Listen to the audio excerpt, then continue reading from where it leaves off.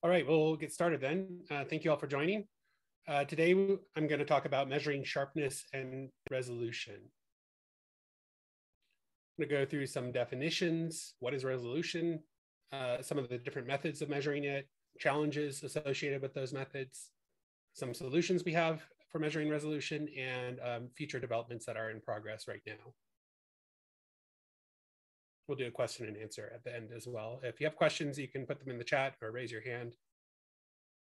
Uh, so uh, let's get into definitions. What is resolution? Uh, if you look it up in the dictionary, uh, at least the definition that's closest to what we think of in the imaging term is the smallest interval measurable by a scientific or optical instrument, uh, the resolving power. The degree of detail visible in a photographic or television image, uh, such as a, a, a, high resolution monitor. That's the example they give. Uh, so this is difficult to translate into a single objective measurement, and I will explain why. Uh, first off, uh, sharpness is, uh, is, is a more complete uh, definition of what how much spatial information is reproduced across all frequencies uh, where uh, resolution is is usually uh, associated with that the kind of limit of, of, of, the finest detail that you can see in that image. Uh, so uh, sensor resolution, we don't usually use that as the as the, the, the key definition of resolution because it's it's necessary uh, for for a good high resolution image. But just because you have a lot of pixels doesn't mean that they're sensitive that they're free from noise or that they're isolated from the other pixel pixels or that your lens really can resolve uh, details on those pixels. Uh, so uh, let's talk about what is an imaging system. So uh, we start with the scene. Uh, we we take that scene uh, and and image it through a lens and and try to focus that that scene on a focal plane array, usually a, a sensor image sensor. And then the, the data, raw data comes out of the image sensor, goes through the signal processor. And at that point, it goes to your customer, which could be a couple different things. It could be uh, displayed on um, some sort of display and uh, then presented to a human and then uh, interpreted by the human visual system. Or it could be that there's uh, some sort of machine vision, uh, a neural network that's that's taking that image and uh, interpreting it so this is this is where uh, the resolution starts to become a little bit foggy because uh, we don't know who our customer is. It could be one, the other, or both of these uh, folks here. So, and another problem is uh, in the scene, what what exactly we're trying to resolve. What's the distance to that object? Uh, where does that object appear in the image? What's the angle of that object? Um, you know, what are the spectral properties of that object in the background that it's uh, appearing on? You know, atmospheric properties, those can also um, limit uh, the re resolution of the scene. Um, then there's the definition of what is visible. So uh, we have uh, here, uh, clearly the one on top is definitely visible. Um, the question is, how many different uh, is this visibles can you see here? And there's actually nine of them and they have lost increasingly lost contrast as you go down down the row here. So uh, the 50% contrast loss is is kind of uh, similar to MTF 50, or it's it's uh, MTF 50 is the frequency where you've lost 50% of the contrast. Uh, so uh, these these other types of this is this is typically the, the MTF we use for sharpness, um, or at least one of the defaults. But as far as resolution, it's going to be one of these much um, higher frequency MTFs.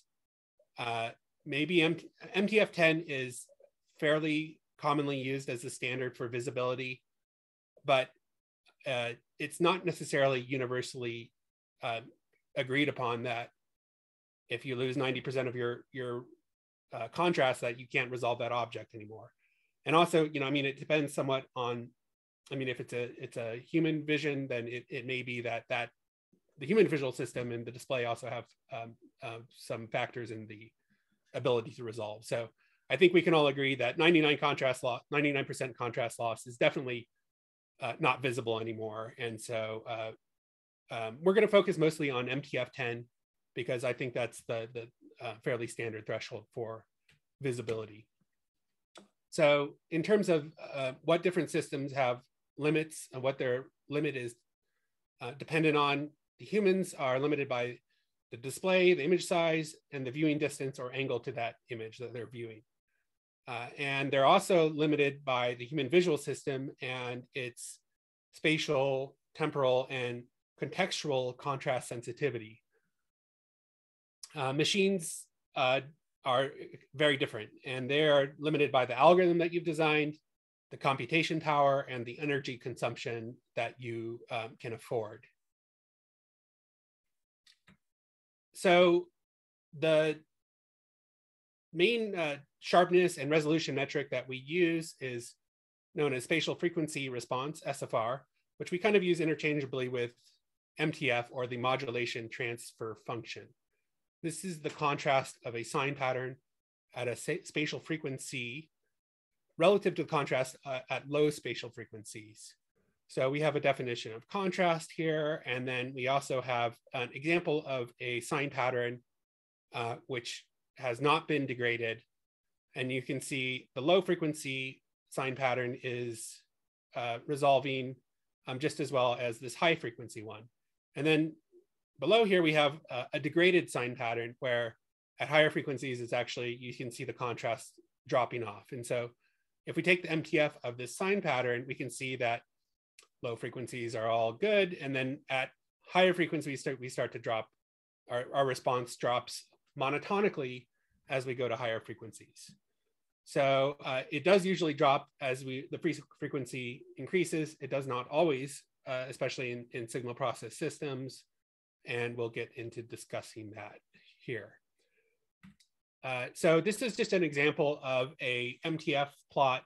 Uh, this is something obtained from a slanted edge and the uh, spatial domain is uh, shown on top where we have the function of the average edge going from light to dark. And uh, then we go through the spatial, um, the slanted edge calculation to you know, take the derivative of that edge, uh, perform a Fourier transform, and then that gets us to the frequency domain where, uh, and then we also normalize to one, that low frequency response.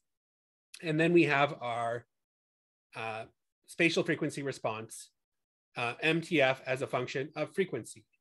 And so you can see going uh, from this low frequency up to the Nyquist frequency, 0.5 cycles per pixel. This is usually uh, the area that, that we care about um, the performance of the most. Uh, so this is a, um, example of kind of okay MTF, and and we have another example of MTF that's that's not not quite as good. So you can see that uh, our MTF 50 uh, it falls it got, drops from um, about a quarter of a cycle per pixel down to about 0.15 cycles per pixel here. So that's that's the MTF 50. That's the frequency where we've lost half of our contrast. Uh, but I think we're more, more interested in this discussion about resolution or where uh, we've lost 90% of our contrast or most of our contrast. So uh, in, in this sharp case, uh, it's actually beyond the Nyquist frequency uh, at 0.67 cycles per pixel. That's our MTF10. Uh, in this not so sharp case, the, the resolution is about half. It's about three five um, cycles per pixel. So somewhere around here. So you can see that that big change in resolution power. Um, and actually, this is all from the same uh, same image from the same camera, and it's just a different part of the image. So uh, this is close to the center, and this is close to the corner. So that that kind of shows that you know don't just measure resolution in one place and think that you're done. Uh, you may have a, a much different resolution somewhere else on the image. Talk about some methods for measuring resolution now. This is kind of a timeline of uh, historical test targets. Actually, uh, and this is going back 70 years. or yeah, 70, 71 years. So um, the US Air Force 1951 target is uh, still very commonly used, actually, especially with optical designers. Uh, so this is a target which we don't support in Imatest. We probably never will, just because of uh, the limited frequencies and the kind of subject, subjective nature of, you know, looking at these these tri bars and saying where where does do these stop resolving. So it's very very uh, um, a target which I wish people would stop using. Uh, there are um, much more modern standards out there uh, which introduced uh, these um, linear wedges in the EIA 1956.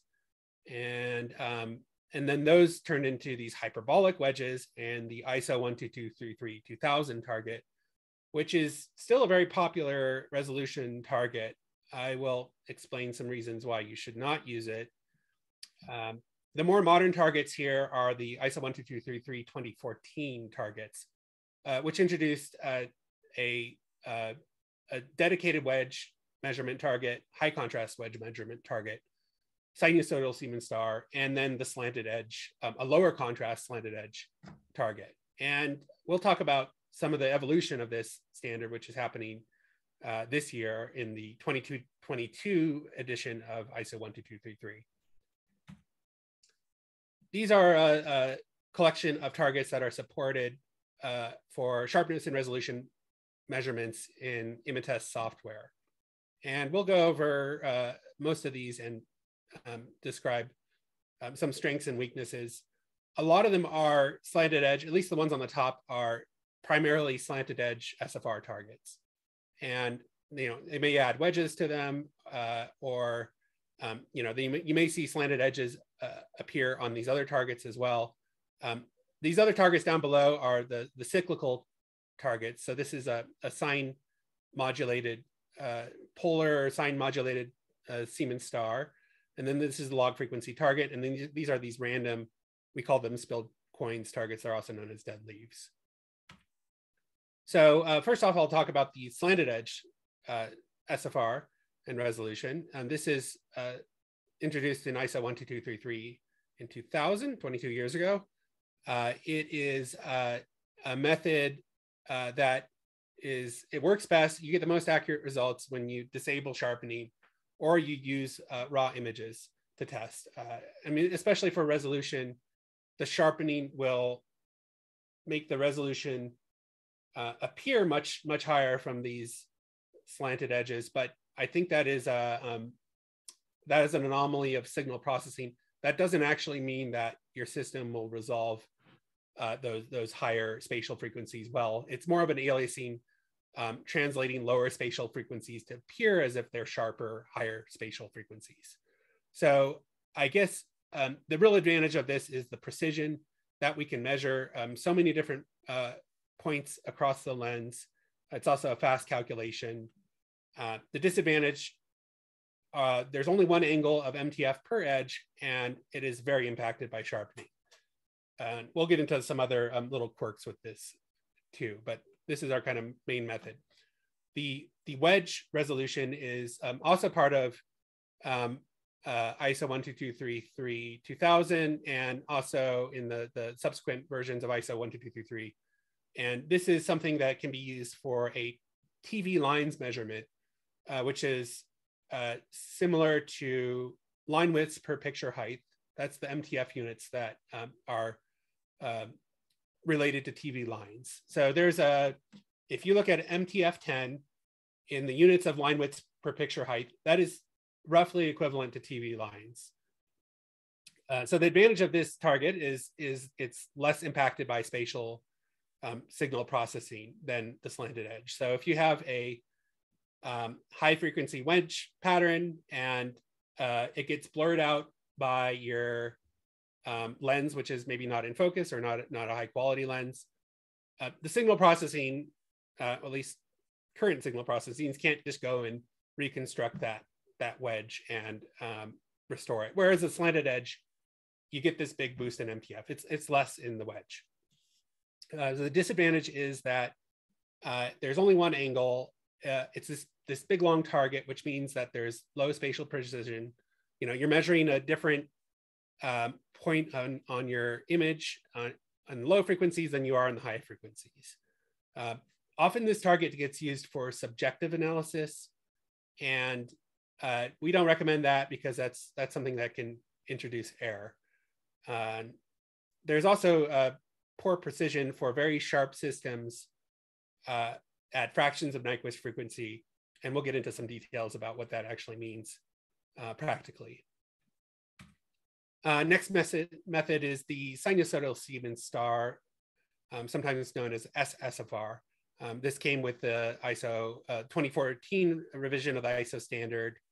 Uh, the big advantage for this is that it has uh, all angles of MTF, uh, not just vertical or horizontal. It's it gets a 360 degree uh, MTF, so you can see not you can see sagittal and tangential MTF um, no matter where this target appears in your image. So the it's also much less impacted than signal processing than the slanted edge is. Uh, the disadvantage is this target is very large. Uh, and so uh, again, the same problems with the wedge, you're, you're measuring different um, parts of your lens at different frequencies, and that means low spatial detail. And uh, it's a lot of, lot of pixels per target, and uh, that can impact the calculation speed. So the random pattern uh, is um, the target known as uh, spilled coins or dead leaves. Um, this is uh, part of a um, incorporated, at least the color version of this is incorporated in the ISO uh, technical specification 19567-2. Um, it's also part of the CPIQ, the IEEE CPIQ standard for image quality. Uh, the advantage of this target is it, it measures how well your system pre preserves fine detail. And uh, especially for things like foliage or skin. Uh, the signal processing has a way of reducing uh, and removing the texture from from those kind of um, areas that get confused with noise. And so the other other disadvantage of this is that in low light there can be some accuracy issues, uh, whether that resolves um, that involves um, confusing noise as texture or uh, in the case of the um, ISO standard version of the calculation, misregistering the position of the reference target uh, compared to the actual target that you're measuring. Um, and that, that's much easier to do in low light or, or blurred conditions. So this is more of a test of signal processing. I probably wouldn't use this for uh, a, uh, a pure resolution measurement if you're um, uh, wanting that. The uh, log frequency contrast, uh, again, this is a, a, something that is mostly useful for seeing the effects of signal processing. Um, this is a sinusoidal pattern that has many different contrasts and frequencies. And it is, um, you can see what, what the signal processing does to these different frequencies. So uh, this, and, and contrast. So usually the, um, the non, nonlinear processing that's done in most image signal processors, ISPs, um, is, is highly dependent on contrast. So you may see that um, the higher contrast portions of this target um, have their, um, are boosted uh, by this processing, uh, the sharpening. And then the lower contrast portions of this, and especially the higher frequencies may um, have uh, a reduction in contrast uh, as those frequencies uh, get mistaken for noise in the ISP. Um, it also is also um, only one angle. So, you know, this isn't good for measuring kind of lens uh, properties, sagittal, tangential um, directions. Uh, and uh, because of its size, uh, it does have low spatial precision and also speed uh, concerns. So very, very good for um, seeing the effects of signal processing though. Uh, so we'll go over some challenges. So the goal of any measurement system should be to achieve both precision and accuracy. Uh, so this is a example of uh, we could have something that's precise but not accurate. We could have something accurate but not precise. Um, or maybe we'd have problems with both. And this is what we're going for, where we have a repeatable measurement that is um, the right the right answer or close to it. So there's uh, the main factor on the precision is the uh, the signal to noise ratio in the image. Uh, you want more signal and less noise, and also uh, depending on the algorithm you're using to uh, analyze uh, sharpness and resolution, um, different algorithms have different performance uh, with regards to precision. for accuracy, there's there's some things that will cause systematic problems with accuracy and those may go in either direction. They may cause improvements, or you know, um, they may be misinterpreted as improvements if if the um, resolution is increased by that problem, or they may um, they may cause um, also a, decrease in in uh, the metric you're you're measuring. So uh, there's uh, many different things that, that can impact accuracy, such as saturation, signal processing, non-uniformity, and chart quality. And we'll go over most of these here. So saturation, this is uh, a big thing that degrades accuracy. And uh, this causes uh, the results to actually increase. Uh, the, the metrics, the resolution metrics, you might get a much higher resolution and sharpness than you actually deserve if, um, if you have saturation in your sensor. So you can see saturation here in this function of the average edge where uh, it's basically clipped the signal here. And uh, for all you know, there may be blur um, that's concealed in this uh, kind of saturated uh, zone. Uh, but because of the way it's exposed, or perhaps because of the high contrast of the target, uh, you're not seeing the, the full um, response here. So it's, this is something that is especially a problem with um, high contrast targets uh, imaged by a low dynamic range system, or if you have an impro- improper exposure, um, you'll get this wrongful increase in, in sharpness and resolution. So this is something where uh, it's actually a method that uh, some manufacturers, I won't name any names here, have used to kind of cheat the system and try to pass uh, their uh, their cameras off that aren't so good um, because they can um, you know, either use this high contrast target or um, overexpose intentionally, and um, they get this better score, and they're like, okay, yeah, we pass more devices. Well, that is not a good way uh, to get good production yield, and um, yeah, I've, I've, i get a little worked up over that when when I see that happening, especially for devices where um, you know they're safety related things, medical and automotive things.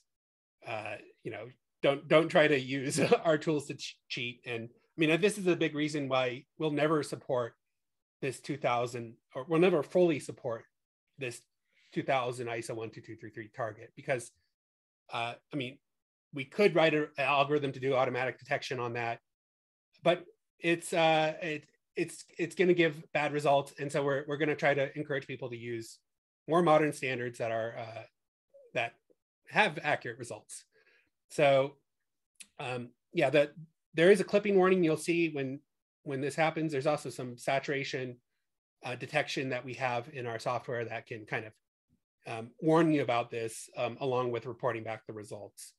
Uh, but yeah, the main indicator is this kind of cusp in this function of the average edge. And you can see if you ever have that sharp cusp, that's, that's a good sign that um, there's saturation and um, you should uh, be aware of that.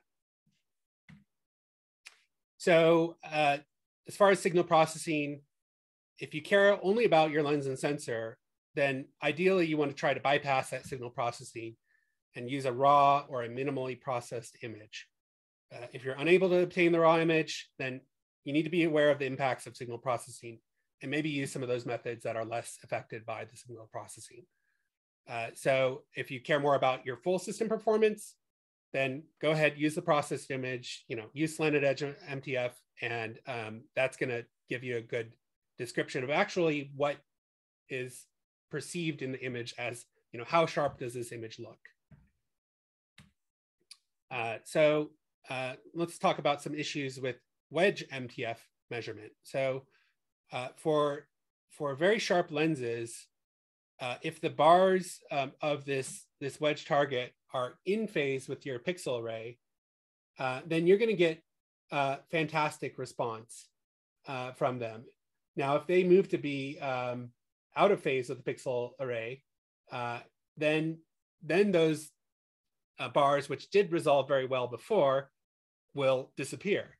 So this is something that is problematic, uh, particularly at uh, Nyquist frequencies and fractions of Nyquist frequency. So uh, this is an example of an um, image we, we got from a customer, actually very, very sharp system that is resolving um, pretty good contrast. It, it's got like, you know, 40% contrast at the Nyquist, Nyquist frequency. So this is a, you know, very high quality lens, or maybe it's overspec for the sensor that it's on. Um, anyways, you see, you see this big kind of, um, this sort of oscillation in the MTF. Well, that's always a sign that something is going weird and you should be aware of that. And so you see at Nyquist frequency, uh, there you have this great response and you can see close to this red line is where the onset of aliasing is, or we, we lose count of um, our ability to count all the bars.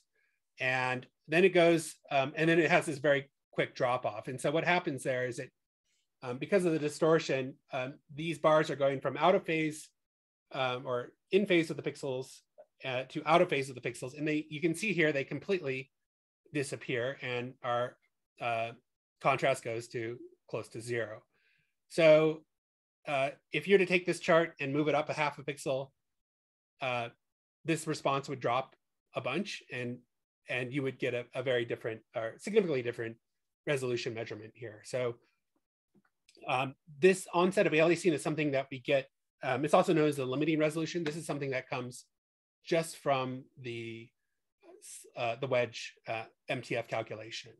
Uh, so it's, it's kind of an alternative to using the MTF10 and so one of the things uh, that you can do is you can take the minimum of, um, like we don't really consider uh, frequencies past Nyquist as being very well resolved because they're actually, you know, those could be lower frequencies. So um, one thing you can do is you can take the, the minimum of MTF10, the onset of aliasing, and the Nyquist frequency. And that is a, um, a reasonable metric to use for um, wedge MTF resolution. In this case, it's um, you know, about 1,050 line widths per picture height in this HD camera. So uh, this is, uh, there's a, a, post here that, that describes some of this, uh, these issues here. And so I'll move on to the, uh, actually, let me look at the chat and just make sure I haven't missed any good comments here. Um, uh, yeah, uh, Lou says you can also get spurious resolution where instead of eight bars, you see seven sharp ones. And actually, I think that's kind of what's going on uh, in this one here. Well, it's not eight bars, but um, it actually aliased right before Nyquist. And I think um, this red line is actually the count of bars. And so um, we've lost some of these bars. Um, it's actually nine bars here. Uh, and so uh, that uh, is, I think we lost it because of days, but it's, you know, I mean, if you take a raw image from this system, you'll see it has very excellent performance, even, even beyond Nyquist frequency. Um, thanks for the comment. Uh, so this is uh, another thing you'll see in wedge measurement. Sometimes in, in systems where um, you have uh, a lot of noise or um, you know contrast boosting or I think this is a com combination of noise and, and saturation and, and high contrast here. Sometimes the uh, you may see this kind of plateau um, as you get to these higher frequencies. And, and this is another um, problem in MTF curves. If you see they flatten out like this, then, then something is, is wrong. Like they should be monotonically decreasing ideally. So uh, I think uh, this, is, this is something to keep an eye out. In this case, um, the, the, the plateau here is actually right below the 10% mark. So um, it could be that a small change in the properties of this system cause that plateau to increase a little bit, in which case you would have this giant jump in, in MTF10. And that's something to be aware of that MTF10 is not always the most stable of, of measurements, especially in, in, in conditions where you have these sort of plateaus in your MTF. Uh, so uh, I had talked some about micro positioning changes. This is just kind of an example of what it looks like. Um, this is uh, 10 different frames um, that are where the, the, the wedge is offset by a tenth of a pixel between frames. And you can see that our MTF is jumping around some because of that kind of um, problem with uh, res resolving there. And so these, um, the, the stability of, um, there, there's, there's stability issues across uh, the frequencies here. But as you see, as you go up to higher frequencies, things become increasingly unstable uh, from wedge uh, measurements. Uh, so that's enough about wedges. I'm going to talk about some issues with the slanted edges.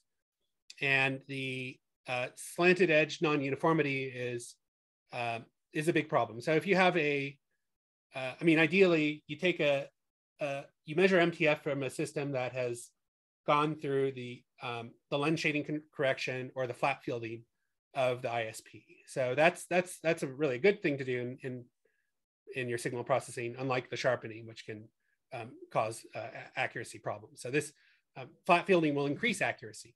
And uh, non-uniformity introduces this, this error um, where, and it, it, depends whether the, the non-uniformity is, um, so you've got your edge here, depending on with whether the non-uniformity um, goes, um, uh, goes with the edge or against the edge, you, you may see that you get either get a boost or a decrease in your uh, uh, edge SFR measurements. And, and so this is a, an example of a sort of uniform um, control image here, and then a non-uniform uh, image where, or a collection of non-uniform images where that non-uniformity is, is kind of rotating around 180 degrees. And so you can see that the MTF uh, drops a lot and it's, it's all based on this low frequency reference. So what's happening is that we're, we're referencing it to the low frequency, but the non-uniformity is impacting that low frequency. And so you can see that it actually looks almost like, while the MTF is going uh, above one, it almost kind of masquerades as, as a form of sharpening. And so, I mean, if you, if you have a raw image and you're seeing MTF going over one, that's a big sign that non-uniform, non-uniformity is impacting um, your results. Another thing, you, another thing you can do is you can you can take a slanted edge and you can you can flip it so that instead of going from light to dark and dark, it goes to, from dark to light. And if you get a different result, that's another sign that non-uniformity is affecting your uh, measurement. Uh, so we uh, we realized this um, roughly seven years ago, uh, six years ago, and um, introduced a correction in Imatest 4.5.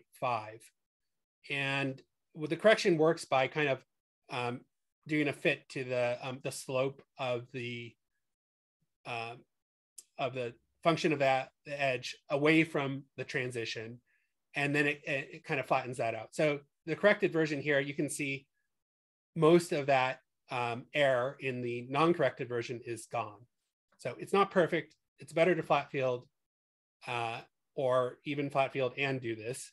Um, so this this correction is going to be part of the upcoming ISO 12233 2022 standard, which is um, being uh, in the process of being uh, going through final um, revisions right now. Uh, so, I mean, I think measurement repeatability, uh, it is uh, something that affects all types of measurements. It's something you should be aware of and, uh, you know, take your measurement, repeat it several times and see if you're getting back the same results. So and depending on the metric that you use, you may see that you have much less repeatability. So generally these higher frequency things like MTF10 do jump around a lot more, especially in the presence of noise. So uh, there's ways of mitigating this. You can maximize your samples by um, making having adequate sized uh, regions of interest. Uh, you can take multiple exposures and, and signal averaging them to kind of average out the noise uh, assuming it's uh, shot noise, not fixed pattern noise, uh, you won't average that out. You can ensure that you get adequate signal level by, you know, that you have enough contrast on your target and um, you have a, a proper exposure. Uh, so actually you want to, you want to the more the more photons you have, the less shot noise you're going to have. So um, having a bright a brighter light box is going to mean that you can um, not have to boost the sensitivity of your system to get more contrast and um, that sensitivity boost could boost noise as well. So um, yeah you want to get a, a, fairly bright light box and get it properly exposed without being saturated to get a accurate and precise measurement. Um, one another thing you can do is is you can use um, lower frequency metrics which are more stable than these higher frequency ones. Now they may not exactly be resolution they may be more sharpness uh, but they also they, they that stability may uh, improve things, especially if you're doing manufacturing. So the um, you, you can see here MTF10 is actually off the charts. In this study we did where, where we had simulated noise and we had some sharpening, this MTF10 kind of went to a very, very high level in some of these expo um, exposures. And these other metrics, uh, MTF30, MTF50 were much more stable actually MTF area was by far the most stable metric um, in this study. And that's something that integrates across all frequencies up to Nyquist. And that's a not very commonly used MTF metric, but I think it's an extraordinarily stable one. Uh, and it's fairly, it's kind of similar to the um, Acutance measurement, which is uh, weighted to the contrast sensitivity function of the human visual system. So um, but this one is not. So MTF area is a, is a good uh, sharpness metric. Doesn't get used much, surprisingly.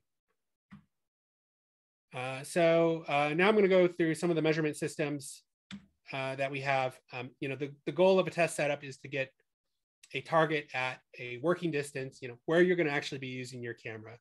So this is going to be somewhere, uh, hopefully be, um, beyond the minimum focus distance of your camera and uh, up to the hyperfocal distance of your camera, which uh, depending on the focal length, that could be, it could be, uh, you know, you know, it could be a meter or it could be 10 meters. And so that hyperfocal distance is the, the distance where it's effectively the same. Your depth of field goes out to uh, effectively the same as infinity. So, you know, like for example, for a, a typical sort of camera phone, we might measure it at 10 centimeters to see the, you know, autofocus performance up close. We'd use a high precision target to ensure that we had um, a, a target that is more precise than the system we're trying to measure. And then we may measure at something like two meters to, to the hyperfocal distance. Uh, so, um, and then the other goal is to, to fill the field of view out to the corners of the image and also have uniform illumination of the target as best you can. Uh, so uh, for close range targets, uh, there's, there's these high precision targets. Highest precision target we have is this chrome on glass, which has some, uh, it's costly, it's unitone. Uh, so, and it has to be backlit. So there's some disadvantages to that type of target uh, for sure. Um, there's other um, like film targets or high precision film we have it's not as sharp as the chrome and glass, but lets you have color, lets you have um, different tones. Um, it's also backlit. And um, the highest precision uh, resolution target that is reflectively lit we have is, is called this um, res checker target, which has a lot of tonal, tonal targets and color targets on it, but also some very high precision reflective targets. So, you know, at close range, you know, one of the problems is if you have specular reflection on your target, and this is especially a problem if you have a built-in light source, which is turned on. Well, if you have a specular reflection on your target that you're measuring, and you're especially the region you're measuring, that'll destroy the measurement. And so, um, the that that's that makes it very hard to measure endoscopes that have built-in light sources. This reflective target is is one way of doing that. Otherwise, you kind of have to disable the built-in light source and use the backlit backlit target to uh, measure at close range. Uh, at medium range, I, the, we have a, a, product called the Imatest Modular Test Stand. And this is a, a, a target and camera alignment system, also light source alignment. So this is something that uh, works with these rails and we can um, adjust the distance between the, the, the camera and the chart up to 3.5 meters. Um, we have a chart holder here, and um, we have light light stands where you can get you can kind of get the lights in a, a certain position, lock them down, and there is um, actually a motorized version of this where you can automate the, the distance changes and also the tilt, tilt and uh, pitch and yaw. Uh, so uh, this is a good good uh, solution for measuring up to 3.5 meters. Now, if you have to go to beyond 3.5 meters, there's a, a longer range test that we have available too. Um, but let me talk about wide field of view.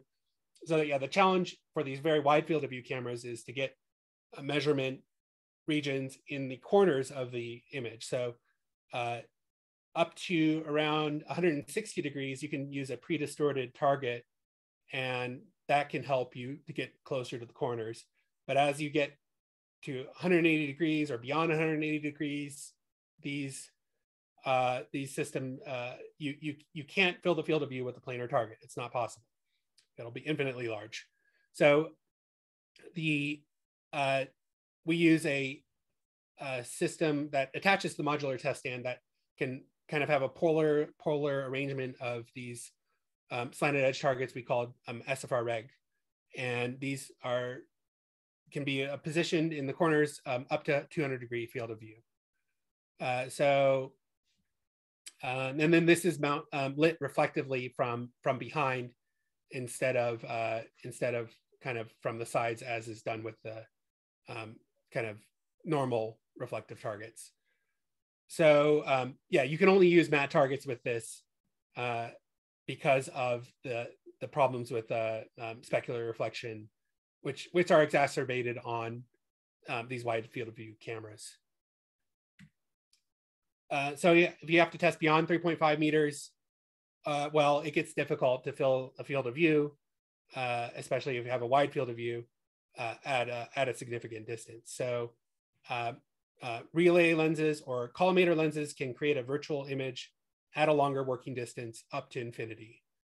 And so this uh, target projection system uh, involves a test, test chart on a light box, a collimator lens, and then mechanical stages that can align the unit under test and also um, line, align it to the optical axis of the collimator and also set the distance between the collimator and the uh, light box, which determines the virtual target distance, uh, which could be up to infinity.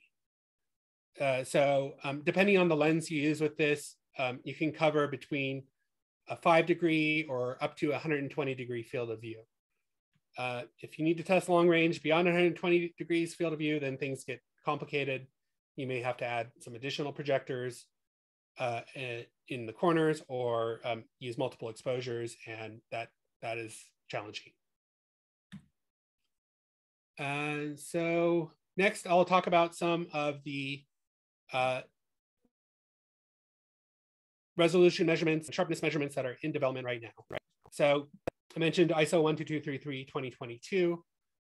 Uh, actually just submitted a comment for that this morning, and um, we're trying to finish up this standard along with the um, members of the working group, um, the um, ISO TC42 working group 18. Uh, so there is a slanted edge. Uh, uh, the slanted square was used in the, the older version of this ISO target. We're moving to a slanted star target for uh, which will enable sagittal and tangential measurements closer to the corners of the image. And so there's also uh, fifth order polynomial curve fitting uh, a um, Tukey window that's applied to the, um, the edges to improve the stability some.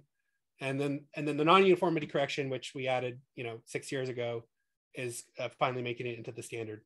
We actually just missed the revision of the last standard before, um, um which we would have tried to have that improvement in. And so we're getting it this go around. So uh, in actually our next release of Imatest, which um, we're we're going to have an alpha release available shortly. Uh, like typically the the radial plots that Imatest have produced have just been vertical and horizontal, uh, but we're we're changing that to have uh, sagittal and tangential uh, plots. So in this case, the the sagittal regions on this, we're using an SFRplus target here, which has these slanted squares on it.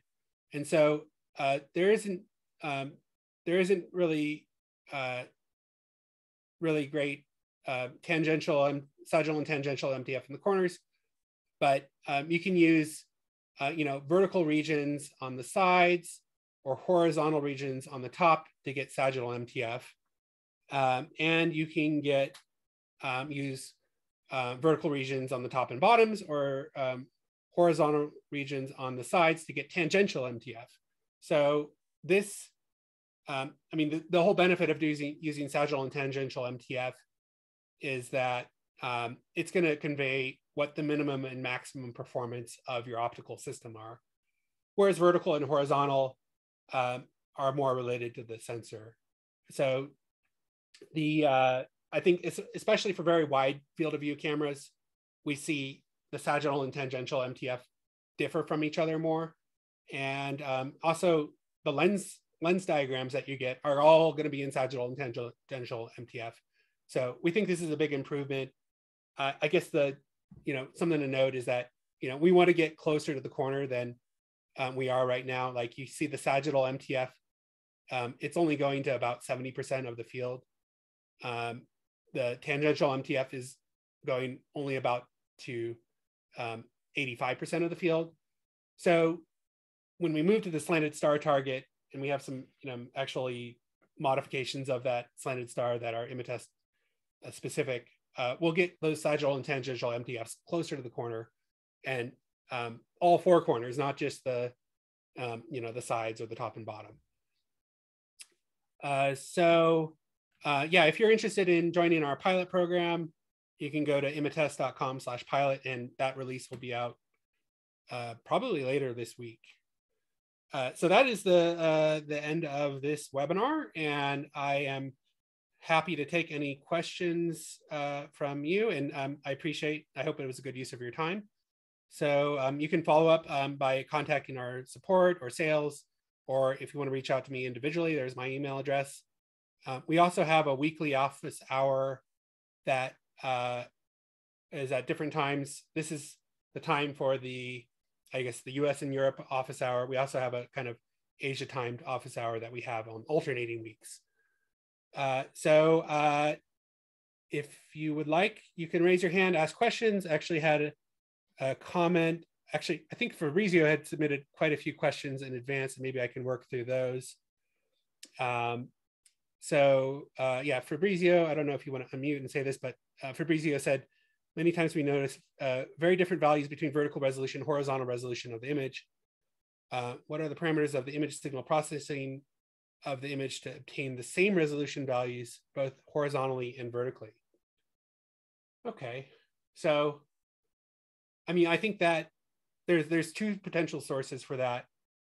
Uh, one would be, I think, lens related um, differences between sagittal and tangential, MTF, which just happen to be um, aligning up with the vertical and horizontal, um, which you might see in the sides. Uh, so another thing is that, you know, the, the non-uniform processing, the sharpening, it may be treating vertical different than horizontal. So that is, uh, that, that's probably the, I mean, to get the same uh, resolution, I think you would first need to look at the the lens design and say, okay, uh, you know, is this, you know, are we, uh, did we have a, a lower cost design that has worse MTF uh, or, or bigger differences between sagittal and tangential? Um, you know, should we try a different lens design? And uh, so if you if you can get sagittal and tangential to align with each other on the lens side, then you can go and um, if, if you can't get that, then you could go on the processing side and you could try to adjust them to try to equalize them in signal processing that was uh, not not treating all directions of uh, uh, information the same. So maybe it would pl- apply more sharpening to the outer portions of the field than it would apply to the center. Maybe it would uh, apply more sharpening to the, the different angles uh, more than the others. that's a tricky, tricky question. So I think you probably have quite a few more of those here. So um, I'll, um, if we have time, I'll go look at the rest of your questions. Uh, and Demetrio said, could you please send the link of the recorder, some recording seminar to, to our emails? We will send that out uh, after the event here. And uh, let's see, uh, unless anybody else has any other questions, make sure nobody's raised their hand. Yeah, you can raise your hand or by, I think at the bottom of the display, there is a, what is it, a reaction thing. You can say raise hand. Um, so I think I'm just going to find Fabrizio's questions and uh, continue to answer them. Uh, so give me one minute to pick, uh, open these up. Here we go. Uh, so, oh yeah, so there was a, a questions of differences between 4K and 1080p. I mean, essentially it's just more pixels.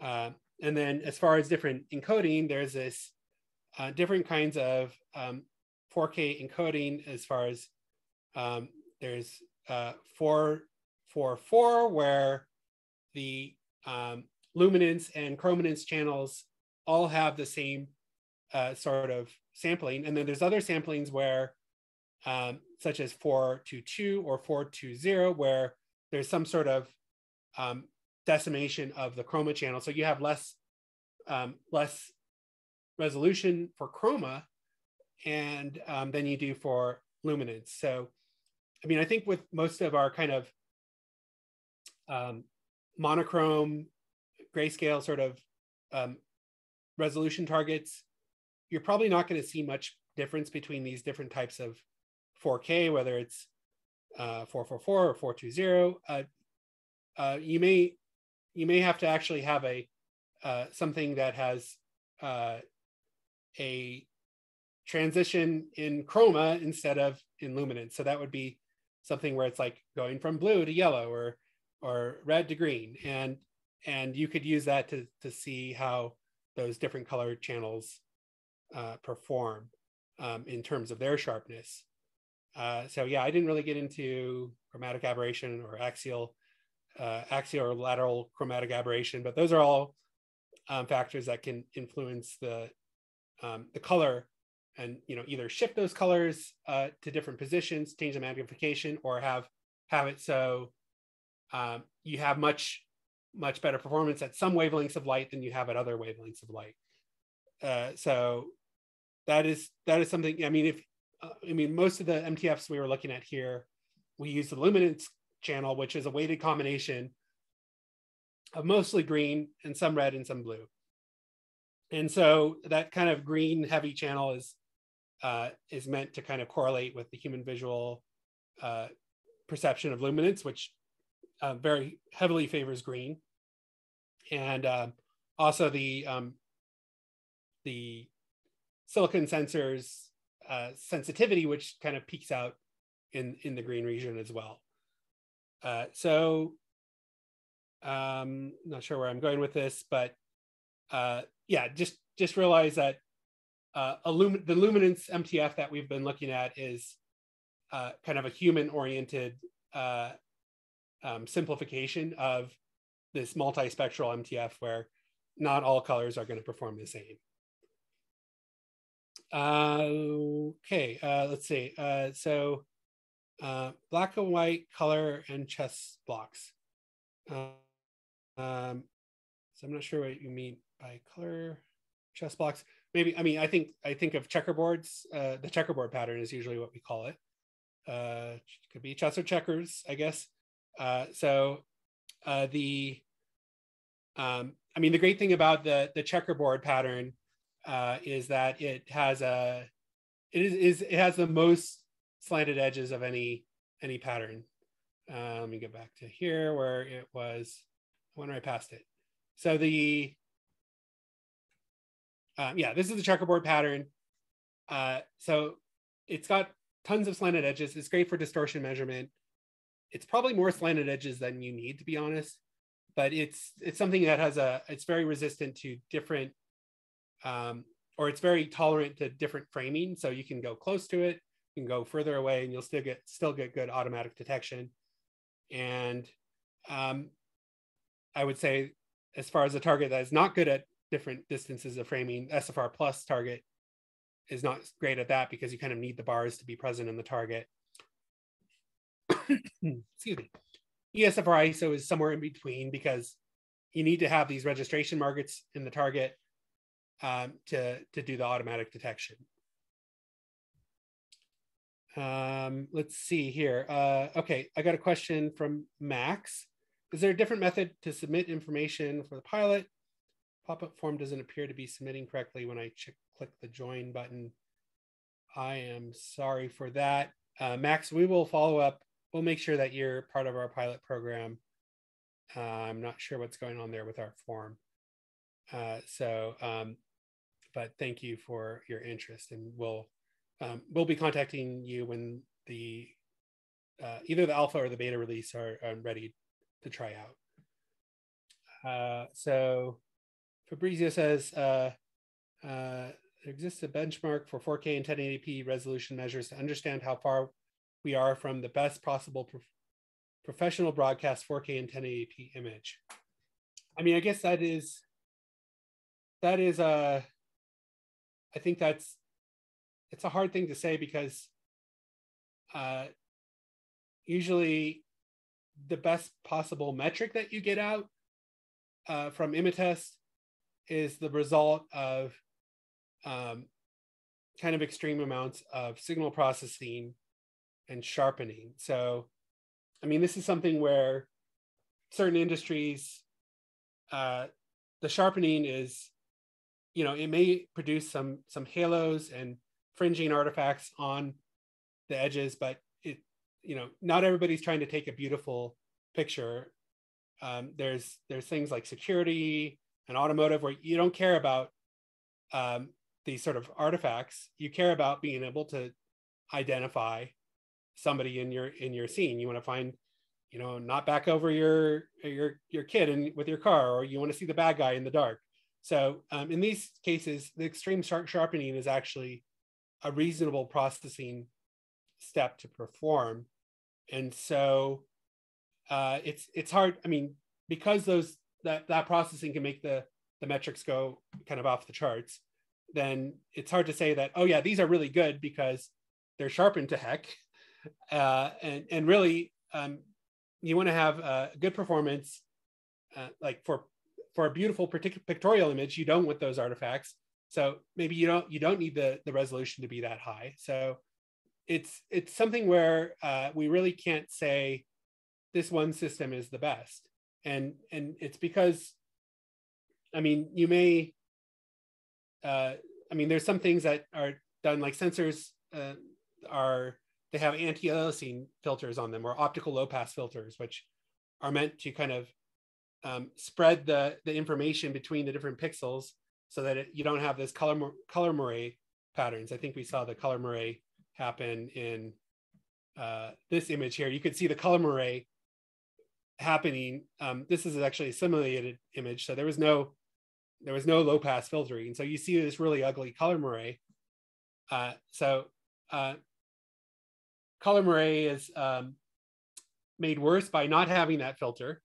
Uh, it's made better by these really advanced forms of signal processing that take multi-image exposures and handshake and, and kind of mitigate the color uh, moire with that and actually can super resolve some. So uh, it's, yeah, I mean, it's hard to say that a image is, uh, you know, that there's a, there's no, there's no reference imaging system. There's always going to be some sort of disadvantages to any particular system. And um, that's why we, we kind of don't get in the game of of saying, hey, this is what your MTF should be. Uh, we say, okay, yeah, maybe your MTF is really high. Maybe you have very high resolution sensor with tiny pixels, but maybe that has introduced a big problem with noise in your system or texture result resolution. So uh, there's trade-offs across the board with any any form of imaging and um, or all the image quality metrics. And and and so the hope where you just have a good you know what's the best uh, it's it's it's a hard thing to answer. Uh, so okay um let's see uh which codecs uh, salvador asks which codecs can manage to get information from the file, sometimes in transcoding we get wrong information. Um, so I guess I, I'm, I'm wondering, what do you mean by wrong information? Is that are those artifacts? Are they? Um, I guess I'd need more information to answer that question. Um, certainly, the the, the transcoding uh, works much better with kind of this sinusoidally modulated features than it does with uh, edges, sharp edges. So uh, yeah, I, I, would say the the problem of uh, the effects of um, going over a transport uh, stream, those could definitely impact resolution, and uh, it's something where you'd you'd have to look at uh, many different frames, not just a single frame, but you know you want to look at keyframes, you want to look at in between frames, and and really having a still a still target is uh, is the is the best easiest case to resolve properly. And so you know you may want to have i mean if you want to challenge a codec you need to have a lot of things moving in the scene. And i mean i think that's um you know a lot of times we we produce these kind of yeah sharp targets and uniformly lit but in the real world you know there's there and you know everything's gray in the background. In the real world the systems are uh, going to be or the scenes are going to be much more challenging. And um, so that that's where you know there may be things like a, a moving target um, that are um, beneficial to challenging codecs. Um, we have a slider uh, uh, that is part of the MTS uh, system. I can find this here. Um, that where you can put a resolution target on a um, on the MTS and and then have uh, have this kind of linear stage that moves that target back and forth. Um, so uh, that's uh, for motion blur. Uh, that's that's a uh, something that's valuable uh, for measuring motion blur. You need a you need a moving target, and you could I think for autofocus the texture texture patterns are going to be part of the next autofocus stat standard, and um, you'll need to have them on some sort of moving stage to um, to test the autofocus. Um, okay, uh, yeah, uh, Salvador, if you have more details on that, I'd be happy to, to see them. Um, maybe this is the last, we're at the hour here, so maybe this is the last question here. Um, what happens when you use a monochrome monocolor backlight like red or blue to measure MTF? Uh, would that identify resolution of that wavelength? Uh, uh, short answer, yes, yes, it would. So uh, I think you would um, you would probably um, I mean, in, in the MTF measurement in, and I guess I can show you uh, quickly here, I'm gonna, this is our new interface for Imatest. Uh, I will select a image here and um, do a quick run of the, I'm gonna do the ESFR ISO module. Uh, so, so here's an ESFR ISO image and I'm gonna select the ESFR ISO analysis. Actually, one of our features in our next release is that it'll automatically recognize what kind of target you're um, you just loaded in. Um, so um, yeah, when you run this analysis, I mean, the default is that it's going to use that luminance channel for MTF. And so there's settings where you can, uh, I mean, in the output file, it will uh, it will output all the different um, colors, at least red, green, blue, and luminance. Uh, and um, what we're uh, what you want to do would want to do in the settings is uh, if you have you can you can select the channel that you're using here. So see, this is a little small here. Let's see if I can zoom in on this. Uh,